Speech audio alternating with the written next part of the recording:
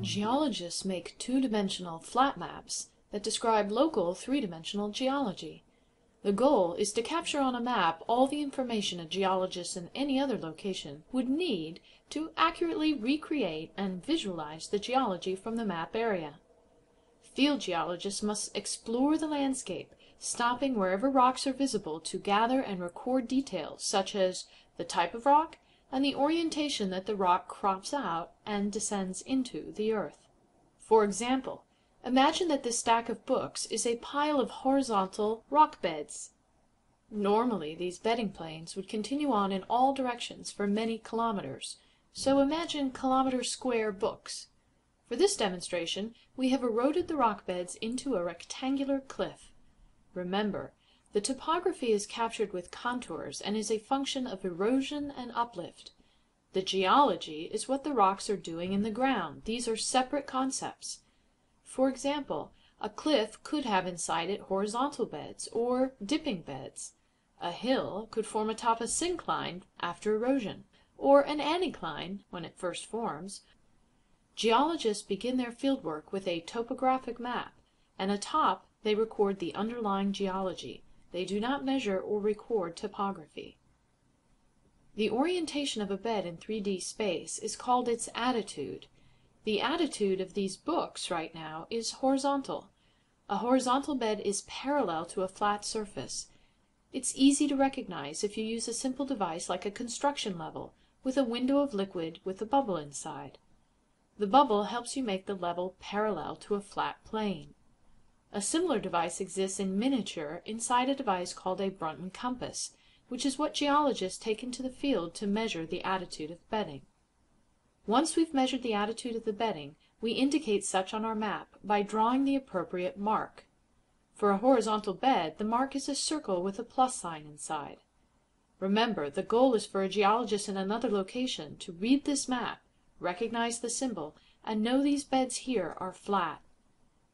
For horizontal beds the contact between them is not visible on the surface, and thus only the top bed would show up on the map, unless a river or other erosional agent has cut through parts of the rock and exposed the underlying rock.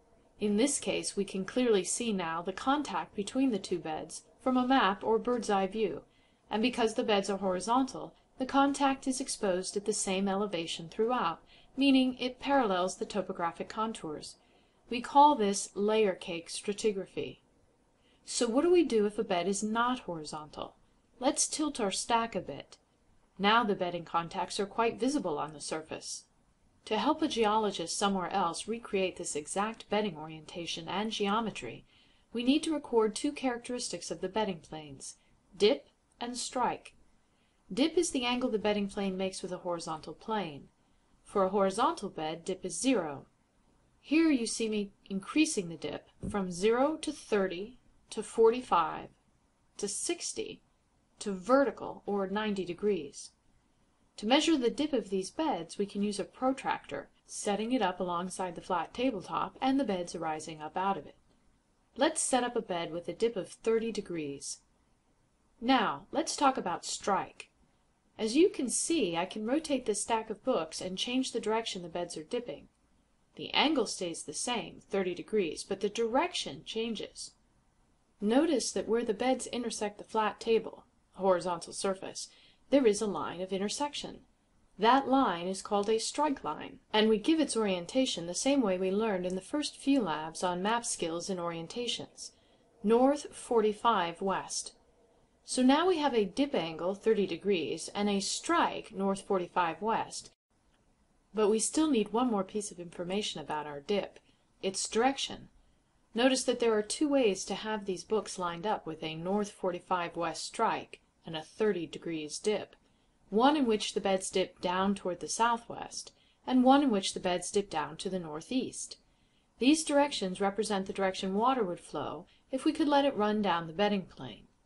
Note that in this case water runs down perpendicular to the strike line and towards the southwest, so the unique orientation of this bed can be conveyed by a strike of north 45 west and a dip of 30 degrees southwest. And we show that on a map with the following symbol. This part is the strike line, and it's oriented north 45 west. The tick mark is the dip direction, and note how it indicates the direction water would flow down the bedding face, perpendicular to strike and towards the southwest.